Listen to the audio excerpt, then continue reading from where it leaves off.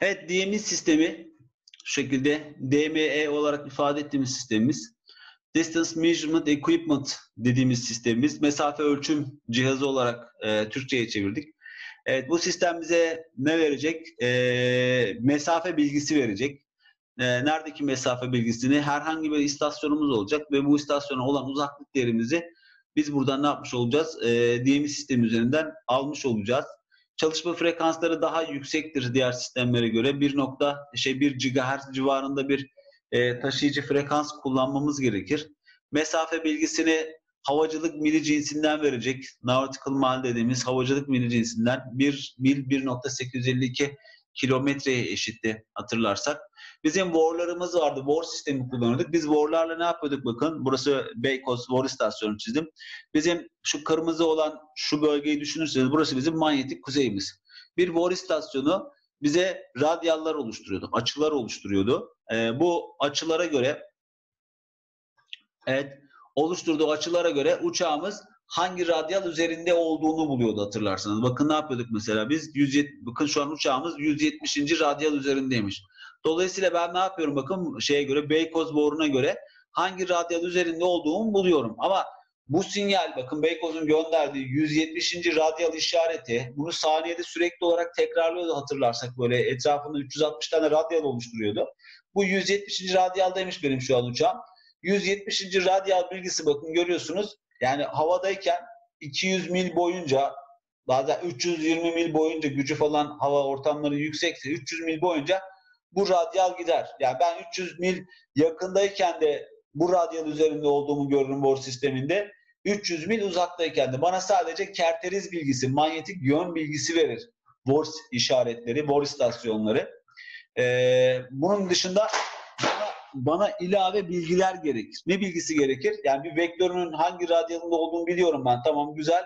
Ama böyle uzaklık bilgisi lazım. Ben çünkü bulunduğum yeri tanımlamam gerekir. Tanımlayabilmek için de, belirleyebilmek için de bir uzaklık bilgisine ihtiyacım var bu vektör üzerinde. İşte buradaki uzaklık bilgisini de bize, Vor istasyonuna olan uzaklık bilgisini de DMI sistemi verecek. Mesafe bilgisini elde ettiğimiz sistemimiz bizim DMI sistemimiz olacak. Artık DMI sistemi ve buradaki manyetik açınızı biliyorsanız bearing dediğimiz olay İngilizce bearing veya Türkçe kerteris kullanılıyor.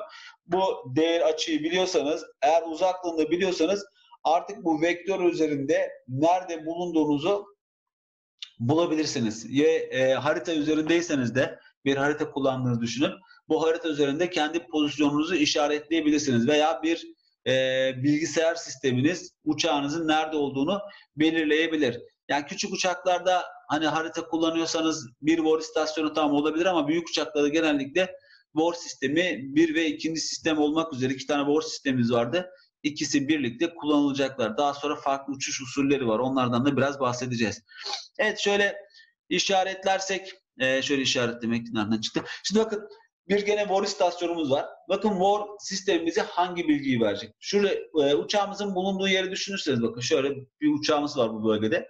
Uçağımızın yerden yataydaki mesafesi 19.9 milmiş. Bakın. Ama uçağımızın eğim mesafesi yani VOR istasyonu olan mesafesi 20 milmiş. Uçak yani şu yükseklik değeri, yükseklik değeri bu üçgendeki yükseklik değeri çok fazla olmadığı için eğimimiz de yani hipotenüsümüz de bu aşağıdaki kenar birbirlerine çok yakın olacaklar. Hep değer böyle çıkacak. Yani yataydaki mesafe 300 mil olduğunu düşünürseniz, 200 mil olduğunu düşünürseniz buradaki mesafe çok büyük bir değer olmayacak sizin için. Yani 34 bin feet 10, 10 kilometre olsa yani 6-7 mil falan bir yüksekliğiniz olur. 200 milin yanında e, hiçbir sıkıntı yapmaz. Bir derecelik falan bir e, değer çıkar zaten.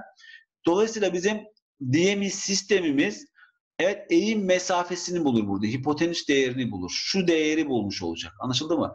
Örneğin tam boru istasyonunun üzerinden gidiyorsanız bakın tam bunun üzerinden gidiyorsanız ve sinyal alıyorsanız o zaman siz gerçeğe yakın bir değer ölçmüş olursunuz.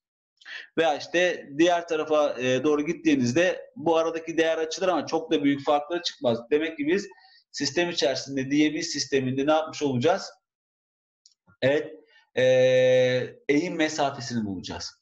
Tabi eğim mesafesini siz normal seyir sırasında kullanıyorsanız bir probleminiz olmayabilir. Ama yaklaşma sırasında kullanıyorsanız bize buradaki mesafe gereklidir. İşte e, ona RVR değeri denir. E, Runway Visibility Range olarak geçer.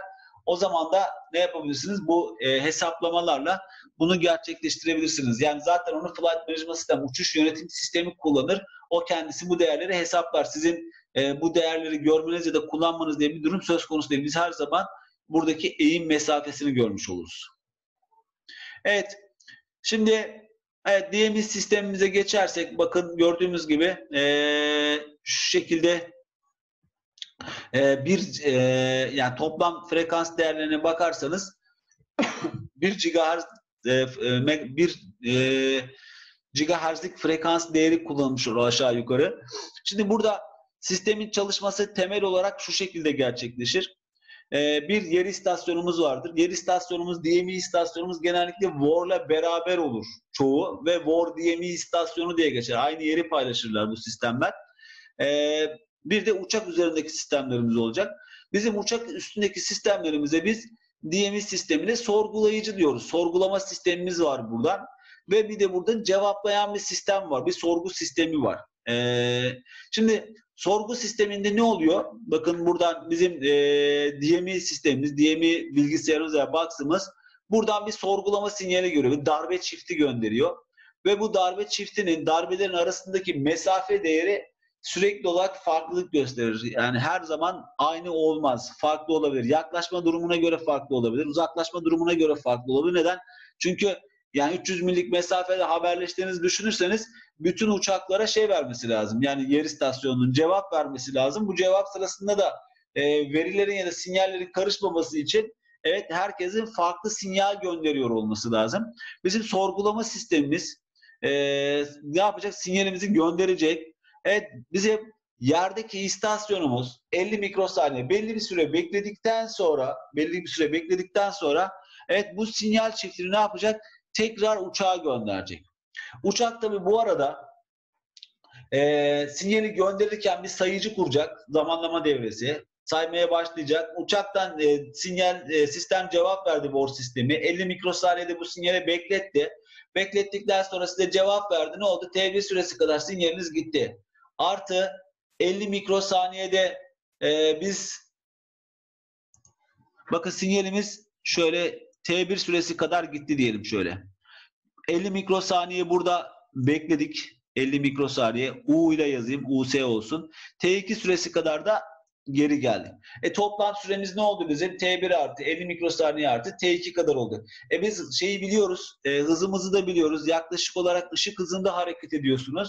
O zaman X mesafesi kalıyor. X mesafesinde buradan ne yapabilirsiniz? Zamanlayıcı kurmuştunuz. Toplam süreyi buldunuz. Hızınız da belli buradan. 3 çarpı 10 üzeri 8 olarak aldığınızı düşünün ışık hızı olarak. Ve buradan da mesafenizi ne yapabiliyorsunuz? Elde edebiliyorsunuz. Demek ki bizim e, sistemimiz evet bir sorgulama sistemi. Yani bizim diğer istasyonlar, ADF ya da VOR istasyonlarına göre onlar tek taraflı çalışıyorlar. Yani sadece sinyal gönderiyordu. VOR'da ADF'de. Ama DMI sistemi bir sorgulama sistemine sahip. Uçak bir sinyal gönderiyor. DMI size cevap veriyor ve buradan da biraz önce anlattığımız bu e, ilişkiyi kullanarak mesafe bilgisini elde etmiş oluyoruz.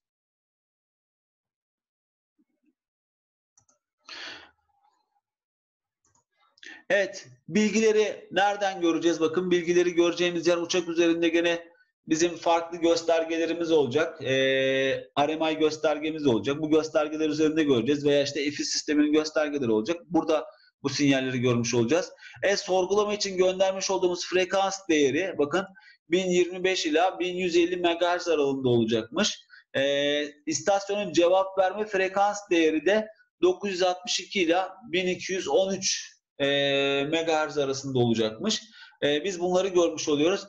Biz DMI için bakın kontrol panelimiz var. Frekans değeri bakın belli bir frekansta çalışıyor sistemimiz. Ama biz frekans değerini DMI için girmeyeceğiz. Hangisi için gireceğiz? VOR'la birlikte çalışıyorlardı ya. VOR e, DMI olarak. VOR sistemi için gireceğiz. Biz aslında VOR frekansını girdiğimizde evet uçak içerisindeki sistemler DMI frekansını belirleyecekler. Nasıl belirleyecekler? Evet WAR frekanslarıyla DMI frekansları ilişkilendirilecekler. Bakın bir tablomuz var. Şu şekilde biraz sondaymış. Bakın burada tablomuz var. Siz buradan evet e, e, WAR için 108 frekansını girdiğinizde bakın biz bu frekansı girdiğinizde aynı zamanda DMI frekanslarına girmiş olacaksınız. O zaman ne yapacak? Yani siz sistemi kurarken eğer yerdeki istasyonunuz 108 MHz bu frekansı kullanıyorsa bu orada bu frekansı kullanacaktır. Bu tablodaki frekans değerleri kullanılarak bu işlem gerçekleştirilmiş olacak. Yani e, şey için DMI için ayrı bir frekans girme ihtiyacı bu şekilde ortadan kalkmış olur.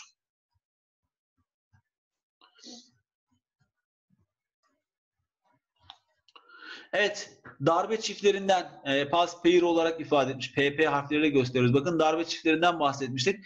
İki tane darbe çiftimiz olacak. Yani sorgulayıcı sinyalimiz bu olacak.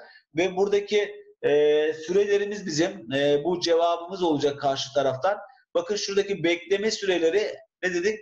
Her uçakta veya her sorgulamada farklı değer olacak ki ne olsun birbiriyle sürekli olarak karışmasın. Yani gönderdiğiniz sinyali tekrar e, geriye aldığınızda sayıcıyı durduracağınız için, sayma işlemini bitireceğiniz için her sorgulamanın diğerlerinden farklı olması lazım. Bağımsız bir sorgulama olması lazım ki e, verilerin karışması gerçekleşmesin. Karışma gibi bir durum söz konusu olmasın. Yani kendi uçağın içerisinde bile çünkü bunu saniyede e, yani bakın saniyede 40 tane 40 darbe gönderebiliyorsunuz. Hatta 40 ila 150 arasında değişiyor. Siz sinyali gönderip alacaksınız. Her sorgulama kendi içinde özel olmalı. E, buna dikkat etmemiz gerekiyor. Bunun dışında yerdeki istasyonlarda kendileriyle ilgili tanımlama bilgileri de gönderecekler. E, burada o tanımlama bilgilerinde yaklaşık olarak işte 30 milisaniyede bir falan gibi bir e, değer aralığında yapmış olacaklar. Arada bizim sorgulama işlemleri olmuş olacak. Evet ne dedik?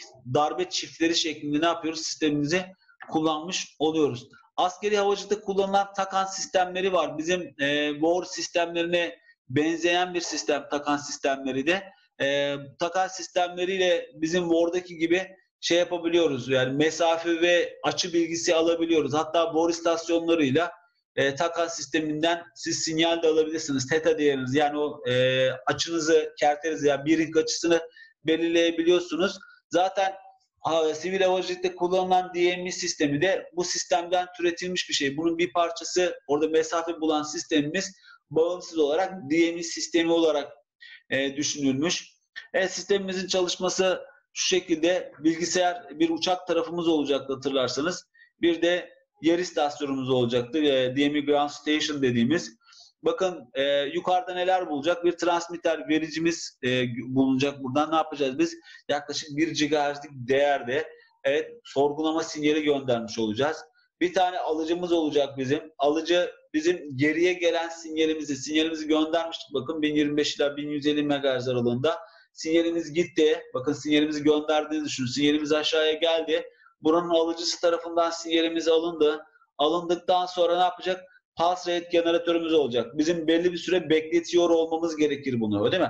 Belli bir süre bek neden belli bir süre bekletiyoruz burada? 50 mikrosaniye bekletiyor. Çünkü istasyon aynı anda o kadar çok uçağa hizmet verebilir ki eğer belirli bir süre beklememiş olsa işte bilgisayarlarınızı düşünün evdeki. Çok işlem yaptığınızda ne oluyor? Evet, e, bilgisayarınız yavaşlamaya başlıyor. DM istasyonunda bu tip yavaşlama söz konusu olursa o zaman diğer sinyali gönderemez. Yani mesafe bulma için kullanamazsınız sinyali. E, o nedenle de ne yapıyor? Yerde her zaman belli bir süre bekletiyor. Belli bir sayıcı 50 mikrosaniye süresince bekletiyor. Hem bu arada diğerlerine de hizmet verebiliyorsunuz. Hem de e, işlemci hızınızda azalma söz konusu olmuyor. Evet sinyalimizi almıştık, aldık. 50 mikrosaniye beklettik. Baktık burada e, istasyonun tanımlama bilgilerini de gömdük bunun içerisine. Bununla birlikte. Ve tekrar ne yapıyoruz? Belli bir süre sonra istasyonumuz sorgulama mesajına karşılık bir cevap oluşturuyor. Cevap e, 962 ile 1213 MHz aralığındaki bir e, frekansla gidiyor. Evet siz bizim sistemimiz gittikten sonra artık receiver alıcı bölümüne geliyor. Alıcı bölümüne geliyor. Bakın gördüğünüz gibi buradaki bir bilgisayar hem transmitterden sinyal alıyor. Gönderdim dedi. Computer saymaya başladı zamanlayıcı.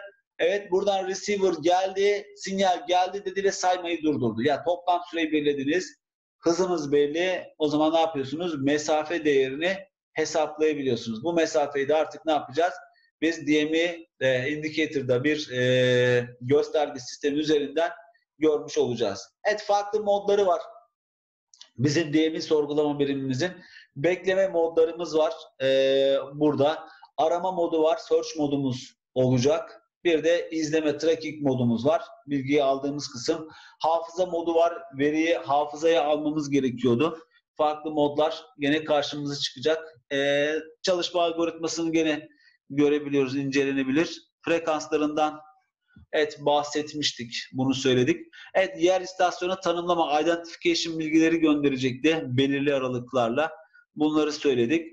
Frekanslarımız e, neydi? E, WAR frekanslarıyla tümleşik olarak bulundu. Birlikte bulunur. WAR frekansı girdiğinizde siz aslında DMI frekansında girmiş olursunuz. Bu tablolar üzerinden bu işlem gerçekleştirir. Evet biz DMI sistemini iki amaç için kullanıyoruz. İki temel amaç için kullanıyoruz. Birincisi seyir sefer sırasında. Evet uçağımızda seyir sefer yaparken trafik e, ortamı oluştururken uçuşta e, DMI sistemleri aktif olarak kullanılırlar. E, Flight Management System tarafından. Bir de biraz önce anlattığınız yaklaşma sırasında kullanılma durumu var. Yani yaklaşırken de ne yapabiliyoruz? Uçağımızı kullanabiliyoruz. İşte eğer DMI sistemimiz bizim e, navigasyon için kullanılıyorsa, seyir sefer için kullanılıyorsa mesafesi 300 mil kadardır. Yani 300 mil uzaklıktaki, uçağınızdan 300 mil uzaktaki DMI istasyonundan sinyal alabilirsiniz. Ama yaklaşma sırasında kullanıyorsanız DMI'yi o zaman da 25 millik bir e, sinyal gönderme durumunuz gerekir. Yani bu e, yerdeki DMI istasyonların gücüyle alakalıdır. Gücü arttırırsanız çok uzak sinyal gönderirsiniz. Gücü azaltırsanız sinyaliniz daha da yakına doğru ne yapmış olacak? Gelmiş olacaktır. Şimdi evet şöyle bakarsak biz iki tane diyelim ki bizim DMI istasyonumuz, War, DMI istasyonumuz var. Bakın birisi burada, radyalımız belli. Diğeri burada, buradaki radyalımız da belli. Evet, birinci ve ikinci istasyondan mesafe bilgisi elde etmişseniz eğer, bakın mesafe bilgisi elde etmişseniz, bu iki istasyonun durumuna göre ve istasyonların koordinatlarını biliyorsanız uçağınızın havadaki yerini belirleyebilirsiniz.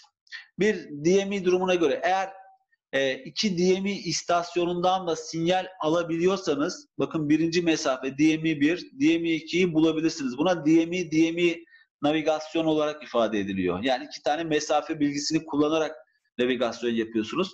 Yani diyelim ki bizim uçağımız e, sadece bir VOR istasyonundan sinyal alıyor. E, başka bir VOR DMI istasyonu orada yok. O zaman bu bilgileri kullanmak durumundasınız. Ne yapacaksınız? Bir kere bir açı değeri alacaksınız manyetik kuzeye göre. Kerteriz denen de ifadeyi almış olacağız.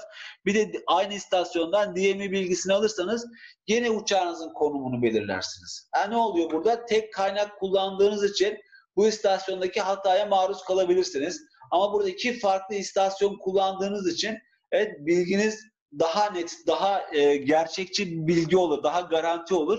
E, bunu sistem e, uçuş sistemi kendisi otomatik olarak ayarlar bunu. İstasyon değeri bulabiliyorsa istasyon, e, DMI değeri iki tane istasyon buluyorsa bunu kullanır. E, bulamıyorsa mecburen bunu kullanmak durumunda kalabilir. Bir de ILS e, için kullandığımızdan bahsetmiştik. Kullanırken bahsetmiştik. Burada da ne yapıyoruz biz gene? Mesafe bilgisini e, ILS yaklaşma sırasında buradan elde edebiliyoruz. Evet DMI bilgilerini nerede göreceğiz? Evet bakın şu ekranda görüyoruz. Gördüğünüz gibi buna bir e, Digital Distance RMI e, radyomanyetik e, indicator olarak ifade ediliyor bu. Uçaklarda genellikle standby olarak bulunan e, bir göstergedir. E, gördüğünüz gibi DMI left veya DMI right veya DMI 1, DMI 2 iki tane sistemimiz vardı. E, buradan işte birinci DMI istasyonuna 31, ikinci DMI istasyonuna 30 mil. Bakın ikisi de aynı yeri gösteriyor. Büyük bir ihtimalle DMI yani birinci ve ikinci sistem ikisi de e, aynı istasyona kilitlenmiş durumdadır. Ya e, DD RMI göstergesinin üzerinde görürsünüz bilgiyi veyahut da bizim PFD ve ND göstergelerimiz vardı bakın. Burada da görebilirsiniz. PFD'de ne zaman görürüz? PFD'yi ILS yaklaşma sırasında görürüz. Çünkü PFD navigasyonla ilgilenmez. Temel uçuşla ilgili bilgileri vardır. Ama e, Glare e, EFIS kontrol panelde ILS'e tıklarsanız eğer e, o zaman şu e, bilgiler gelir karşınıza. Buradan da eğer e, hangi istasyona bağlanmışsanız yani yaklaşmayı hangi istasyon üzerinden yapıyorsanız şu sol alt taraftan da gördüğünüz gibi istasyona olan uzaklığınızı bulabilirsiniz. Yaklaşık 4 millik uzaklık varmış örneğin. Veya e, Navigation Display'de e, farklı sayfalarımız vardı burada. E, buradaki sayfalarımız e, işte Rose modunda War 1 istasyonunu görüyorsunuz. Hangi istasyona kilitlendiğini görebiliyorsunuz. Buradan da War 2, burada Big diye bir istasyona, burada Mam diye bir istasyona kilitlenmiş. Buradan da buraya olan mesafemiz yaklaşık olarak ne kadarmış? Şöyle 73 milmiş. Burası da 137 milmiş. Buradan hangi istasyona bağlanmış olduğumuzu gene görebiliyoruz. EFIS e, panellerimiz üzerinden. Evet. Şimdi bizim DMI sistemimiz bakın bir e, küçük bir uçak düşünürseniz küçük genel havacılık uçaklarında işte iki tane sistemimiz vardır bizim. VOR 1, VOR 2 sistemi. Manuel olarak e, sinyalleri girersiniz ve işte birinci VOR ve ikinci VOR'a bağlanırsınız. Ama eğer büyük bir uçaktaki sistemlerden bahsediyorsanız burada bizim e, uçağımız e, moduna bağlı olarak etrafında bulabileceği bütün alandaki DMI istasyonlarından sinyal alabilir. DMI istasyonlarından veri alabilir. Ve bu verilerin hepsini, diyelim 250 tane istasyonunuz var e, toplamda. Bu 250 istasyondaki verileri aldınız. Bu verileri ne yaparsınız? Bir hafıza birimine gönderirsiniz. Ama siz bunlardan yalnızca e, 4 tanesiyle ilgilenirsiniz. Nedir? Aktif olarak kullandığınız bir e, bor istasyonu ve o istasyondan aldığınız DMI bilgileri vardır. Bir de ulaşabildiğiniz arka plan DMI'leriniz vardır. Bakın arka planda iki DMI istasyonuna bağlanırsınız. Bunları biz görmeyiz. Flight Management System görür bunları. Bunları veri olarak kaydeder ama siz görmezsiniz. Siz her zaman sadece şu iki değeri görürsünüz. E ne yapar uçuş sırasında? Bu sürekli olarak böyle örümcek ağı gibi Evet bunu kullanır. Buraya geldiğinde başka istasyondaki bilgileri alır. O bilgileri kullanır. Bu şekilde hep uçağın çevresindeki e, DMI bilgilerini kullanarak sağlıklı bir şekilde uçuş gerçekleştirir. Dediğim gibi aktif olarak kullandığımız WAR'lar vardır. Flight Management Sisteminde, uçuş yönetim sisteminde ve arka planda kalan, hazırda bekleyen WAR istasyonlarımız vardır. Bu bilgileri kullanırız. Ama sinyal alıp verme olarak bakarsanız eğer moduna göre değişir bütün istasyonları, çevredeki bütün istasyonları tarayıp bu istasyonlardan DMI bilgileri alıp bu bilgilerinizi bir hafıza biriminin içerisine kaydedebilirsiniz. Ama yalnızca, yalnızca 4 tanesini kullanırsınız. Evet. Antenlerimiz olacak yine. Burada görüyorsunuz Blade Type antenimiz olacak. Diğer antenlere benziyor. Gene zaten e, sistem. Evet sistemimizin genel yapısına gene bakarsak neler olacaktı? Böyle biraz da özet geçmiş oluruz. Ee, bizim e, sorgulayıcımız, sorgulayıcımız olacak burada. E, sorgulayıcı olarak ifade ediyoruz. Yani neticede bu bir e, transmitter e, ve receiver devresi. Yani transceiver devresi tarzını düşünebilirsiniz. Ama dışarıya bir sorgu gönderdiği için sorgulayıcı olarak e, çevirdik.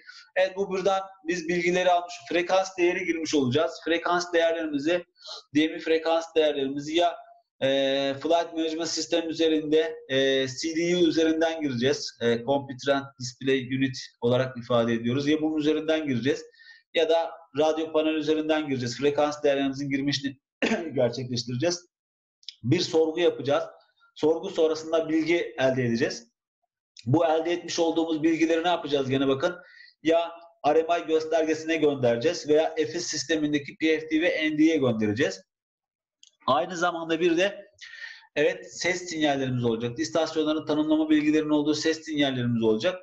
Bunu da işte e, ses yönetim sistemi veya audio control panel olarak ifade ettiğimiz panelimize göndermiş olacağız. Bu değerleri.